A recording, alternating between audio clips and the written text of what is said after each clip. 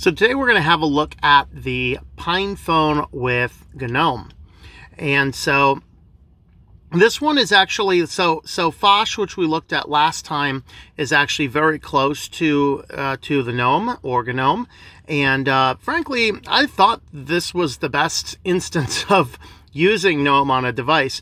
Now I put this on this on card. Of course, if you're doing production, you want to use a better card than the 64 gigabyte on Walmart brand SD cards.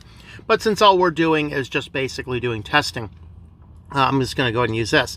Now, most of your distros will boot automatically off the SD card. The only one I'm finding that doesn't is Ubuntu Touch. I'm not sure why that is.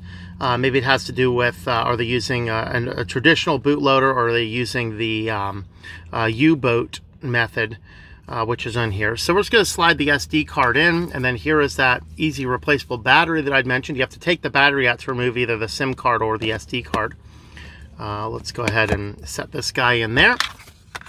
Snap our back case on, and we will boot this up for the very first time in this distro. So I'm going to go ahead and hold this button on there. We notice a green light up at the top, and this should hopefully boot directly into Postmarket OS for the very first time. Go ahead and cut this down here. Maybe that'll work. While this is booting up, if you like this mouse pad over here, it is available on the store at shop.switchedtolinux.com. So right now you can see it's reboot, uh, it's resizing the file system during the initial boot. We are running Postmarket OS 23.12 this is before they're putting systemd in with the Linux kernel 6, 4, and 7. And we can see that we're on the PinePhone uh, 64 PinePhone. All right, so it starts up and here we can start in with our sign up. Of course, this is going to be your very familiar GNOME sign in screen. Uh, you can come down here. You can see there's Wi-Fi, Bluetooth, there's mobile, there's power balance, dark style, so you can see that we have a lot of the, uh, we have more options in here than we had under Phosh. So click your Linux user and then we need to sign in and the default password is 147147. So if you remember from our Phosh video, the first major thing that you will notice is that we don't have quite as nice of a, of a login screen, whereas the, um, the Phosh gave us a nice pin. So first boot will take a little bit more time to get logged in, and it should give us here a, uh, a first start screen in a moment. We'll give it a second, see if it does that. And you can see that's what it gave us. Welcome to Postmarket OS. Swipe left to read important information. I guess swipe no for, uh, right for no. I don't know how it works. So here's the GNOME shell on mobile. So this is still experimental. That's what that first screen is telling us about. Here is if you want to, uh, here's information. If you want to switch just directly to nothing but a raw terminal prompt, hold the volume down and press the power button three times to switch to the login screen. And then of course you can use SSH and there's other options in there as well.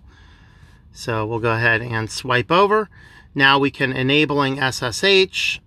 Uh, this is going to enable you to uh, to manipulate the phone on another computer if we wanted to do that.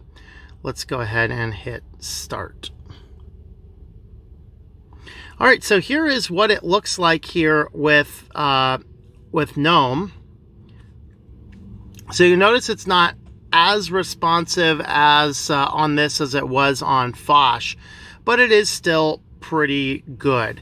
Uh, I'd say that Phosh is a better overall user experience, but this gives us the full, uh, full function of using our phone. I'm not sure why it has not uh, figured out what time it is yet. But here we have, you know, in the modern GNOME, this we have our screen cap options. So I could, in theory, do a, a full screen here. I can record a photo. I can record a video. We'll actually see if that'll actually work. I have no idea. Uh, so I saw the little zero up there for just a second and then it disappeared. So maybe that's a function that's just not working in this at this point in time. So as far as other options that we have, here's your tweaks. So inside of here, we can set our, uh, our battery on timer uh, on AC. Uh, here's your maximum battery capacity. So what I don't like about this is it will not allow the phone to charge past 90% by default. I like turning that up. And so let's go ahead and hit the apply option. And then we have to enter our password. Here's our sound, here's our disk unlocker, here's your appearance. So we have light, we have dark. Let's go ahead and switch it over to dark. There we are. Here's your themes. Here's your icons. Of course, we can add extra icons just the way we do any other Linux distribution. Of course, swiping up, you'll see that you have uh, your task up here, and then we have our, our apps that we can use down here. If we have multiple apps open, then you'll be able to swipe up and see and switch between both of these. So you can see here, we can go back to our first one, or we can close them out just by sliding them up. After our very first run, the next thing I did is I connected us up to the wireless network and then I rebooted the phone just to make sure nothing else got got a little wonky. Uh, our date was fixed when we added our um, our Wi-Fi, mostly because the look at this the T the uh, cell signal was turned off. I thought it was on, but it's not. There you go. So it tells us that we have 4G signal right now, uh, which does indeed match the uh, current uh, network. I'm using, of course, the same uh, Mint Mobile um, uh, service on my production phone here. So I have T-Mobile and I have pretty good signal here. So I don't know, maybe we could uh, try doing something. Um, I don't know. Let's let's try making a phone call here. Let's let's see what happens. Go into our dial pad. I'm gonna just gonna tile the public business number uh, for my web company there. And when I do that, that should hopefully ring my other phone because when you call that, there it goes. Yay, getting a phone call. So phone calls works just fine. So that's turned off. So there you go. We can actually go in and make phone calls. Presumably we can send text messages as well. Uh, let's go ahead and um, maybe we'll uh, we'll text my, myself as well. So let's do a new message. We're going to send that out to the same number. I'll, of course, redact the number from the video, but it is public, so I don't mind if somebody's like, oh my God, I can find your number. Yeah, it's my business website, actually. Um, let's see. Testing, of course, the only way I will have to get into that. But you'll see that uh, I got a notification back um, oh, new text message. Oh, okay, look at that. What's that? I have no earthly idea what in the world that is. Let's open that up. Let's see. Incoming cell broadcast message. Oh, that might might just be because Mint Mobile will oftentimes send you um, a text when you attach the SIM card to a new device. That's probably what that is there. All right, so text messaging is working, calling is working. And uh, the next thing I guess we can probably try and do is let me grab some Bluetooth headsets and see if I can uh, uh, sync these guys up. So I have these, uh, um, just these cheap Skullcandy Bluetooth head headsets here. Let me go ahead and pull that guy up. And if I can remember how to cause the sync thing go. Are we syncing or not? I have no idea. Oh, there we go.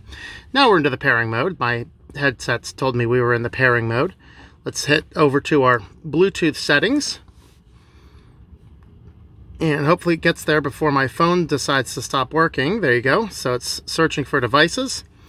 Dime black. And there it is. My headset is connected. Now, one of the problems that I actually had on my other devices when my headset was connected, uh, what I couldn't do is I couldn't do that phone call through my headset. So let's go ahead and call myself back again. Let me go back into recent. And one of the things I found is I couldn't click the button like you'd think you should be able to click this and call back and you really can't. So, okay, let's go ahead and do this and see if it rings through on my headset instead. So it is not ringing through the headset. I can't hear it at all. Presumably it's just on the phone, even if I turn that off. So we're just gonna go ahead and hang that up and uh, I will leave in the description there if that call actually went through or not. So we'll uh, be able to see for that, but I'll be able to tell what's going on. So despite I have Bluetooth headset connected right now, and this works just fine as a headset everywhere else, I am not actually able to make a phone call with that, at least not easily. So that does uh, cause a couple of little problems uh, but that's one of those issues that I've been having as well. Now, as far as Nextcloud, I have a my development Nextcloud server set up, but that does not have an authentic SSL, and so it will not connect to that. I think that's more of a feature of uh, GNOME. Uh, the GNOME shell will not allow you to connect to a Nextcloud that's not encrypted with an SSL. I did test my production one. That works contacts works just fine. But as I discussed in the previous video, uh, Calendar, which is the calendar they give us, despite it is a beautiful calendar for mobile, it does not actually work with a Nextcloud sync. So I could not use that with Nextcloud.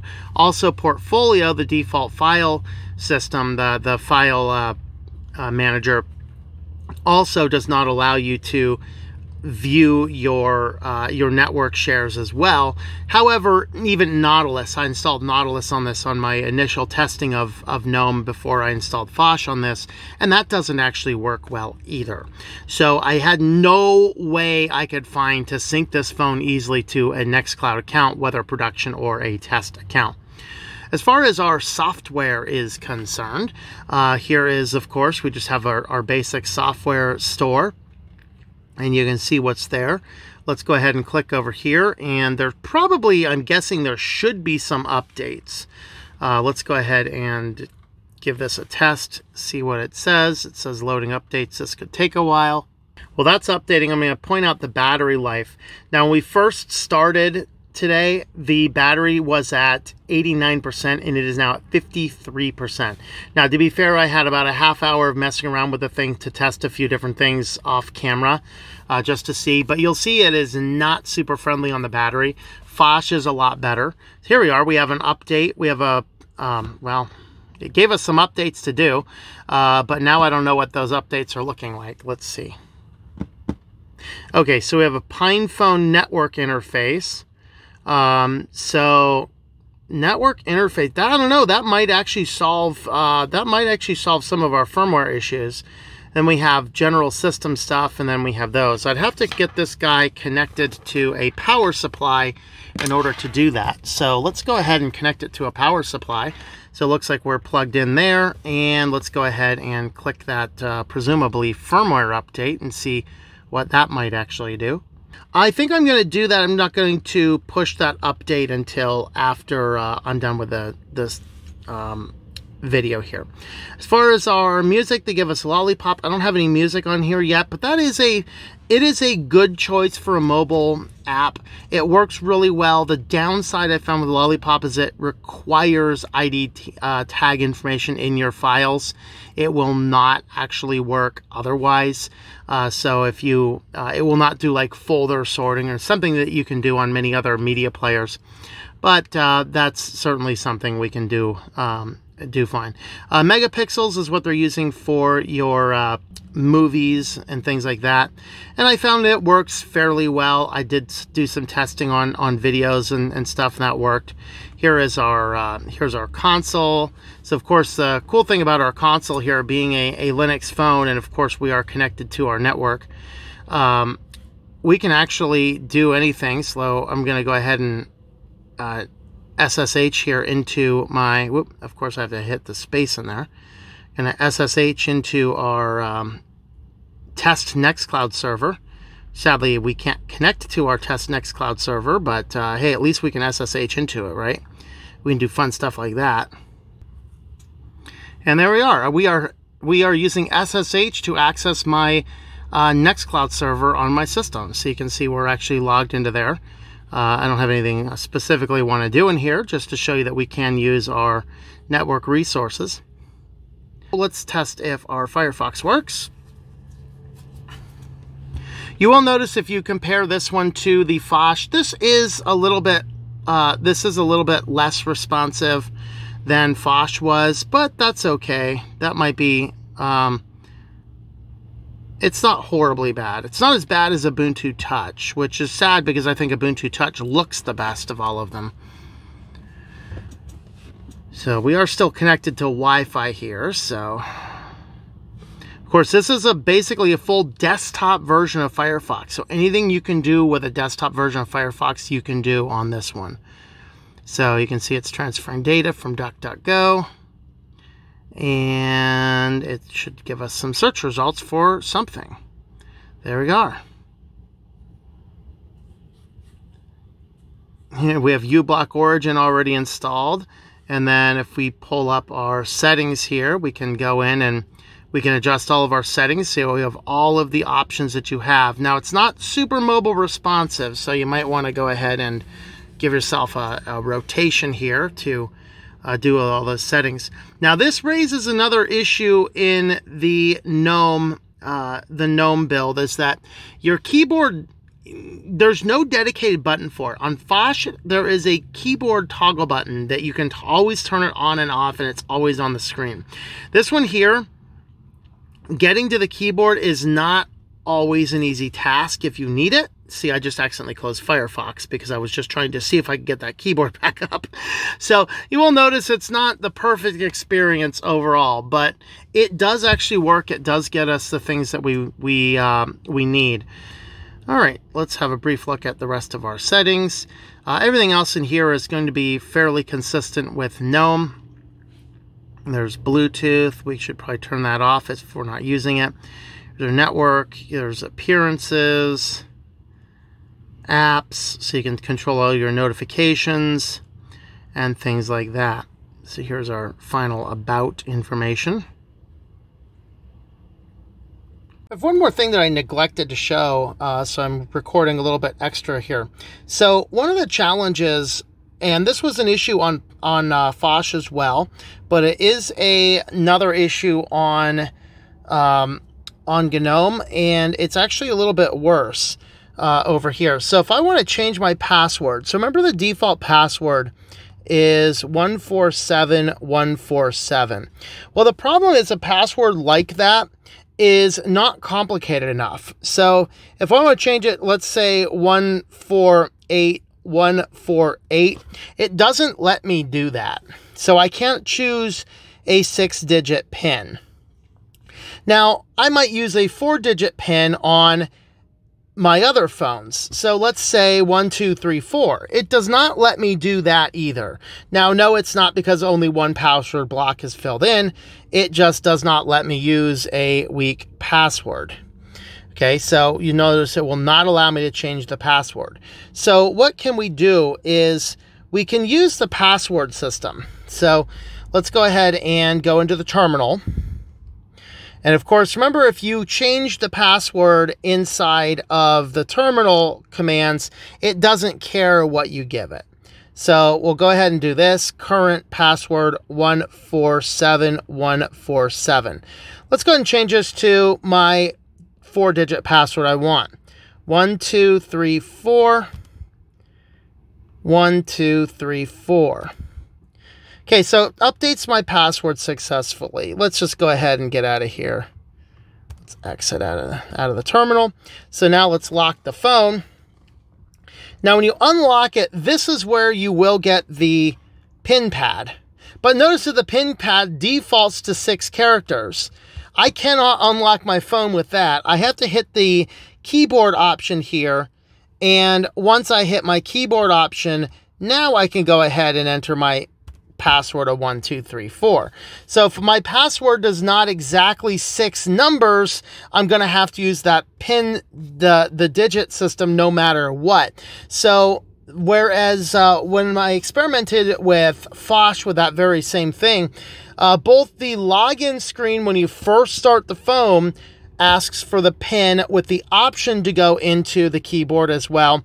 But even on startup, you could use a four digit pin or you could use a six digit pin. You could use an eight digit pin that's all numbers.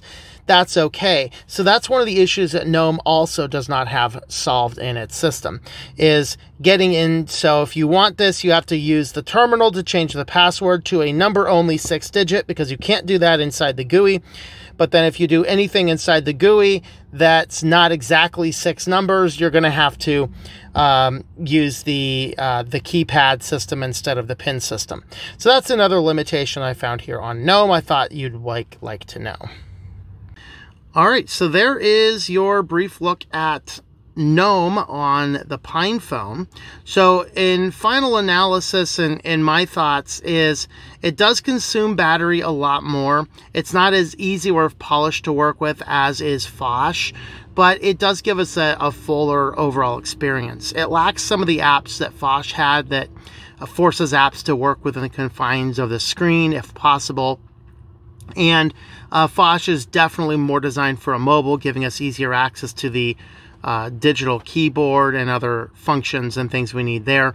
Overall, I found that the Phosh is a better experience. It's not quite as beautiful, uh, so you need to wage uh, that thought. Is it the beauty you're looking for, or is it the functionality you're looking for?